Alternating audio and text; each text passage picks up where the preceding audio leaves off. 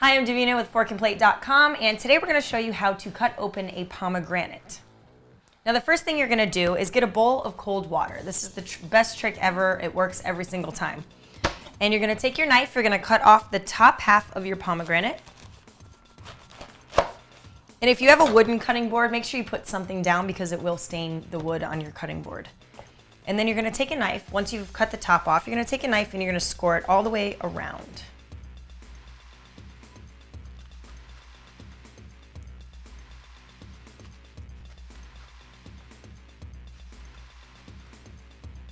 We're gonna take this and we're gonna put it in our cold water for about five minutes.